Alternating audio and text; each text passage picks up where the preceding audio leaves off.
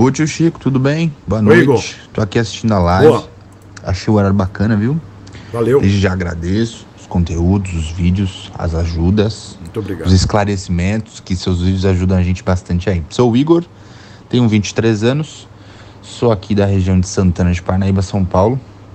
Fui contemplado e tava querendo comprar aí uma Himalaia, preço atrativo, uma moto robusta queria uma moto pensando em, em aquela coisa que você fala do fufo mental que o pessoal compra moto pensando em vender, né?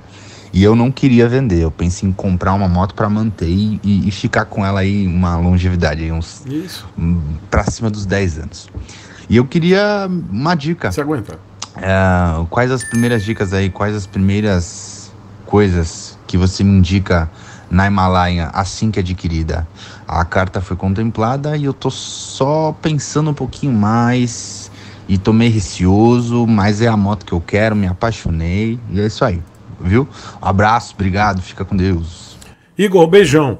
É, eu tenho a Himalaia 2022. Eu sou muito feliz com essa Himalaia. Eu acho ela linda. Ela é um feio bonito. É uma moto que tem uma relação peso-potência péssima.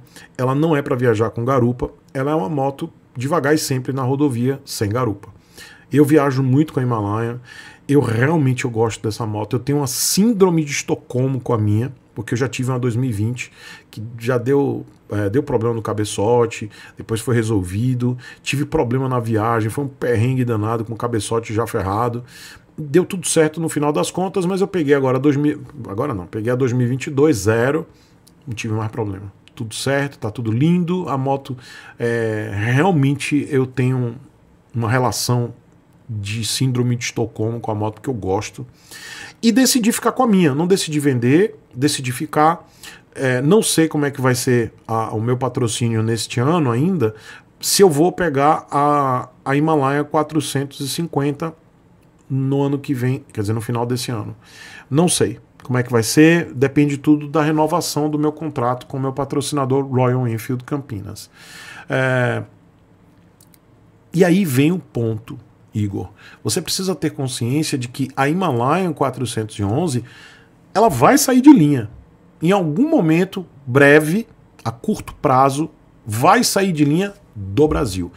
Eu não vou dizer, ah, saiu de linha da Índia, vai sair de linha no Brasil, vai sair de linha no, no mundo inteiro.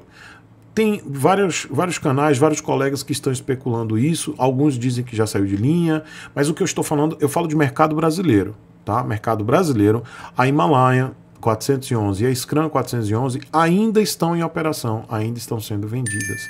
E eu já fiz um vídeo dizendo que faz sentido comprar a Himalaia 411. Por quê? Porque quando chegar a 450, ela será muito visada aí onde você mora, São Paulo. Que eu estou vendo seu DDD, São Paulo. Então ela vai ser visada pelos amigos do alheio. A 450 ela tem aquele painel chamativo, ela vai ser uma moto visada, porque é novidade. Se a Himalaia 411 já está chamando a atenção de alguns amiguinhos do alheio, imagina quando essa 450 com aquele painelzão lá aceso, chegar. Então, essa moto, ela não vai ser legal para São Paulo e região metropolitana. E está se avançando, né? Antigamente eu rodava em Campinas de boa, hoje já não dá mais para rodar em Campinas de boa, já foi. Campinas já foi. E olha, Campinas fica um pouco mais de 100 quilômetros de São Paulo. Então, imagina quando a Himalaia 450 chegar. Então, por isso que eu já afirmei que a Himalaia 411 faz sentido para alguns lugares, principalmente para lugares que a Himalaia 450 vai ser visada para o roubo. Então, você precisa ter essa, essa consciência de que a Himalaia 411 ela vai sair de linha no curto prazo. Qual curto prazo, tio Chico? Eu aposto que até o final de 2025 essa moto pode sair de linha. Porque a, a 450 ela vai chegar no, ela vai ser anunciada, muito provavelmente anunciada, muito provavelmente no final deste ano, e ela pode começar suas vendas no início de 2025. E aí a, a Royal Brasil já vai começar a vender todo o estoque de 411 no ano de 2025.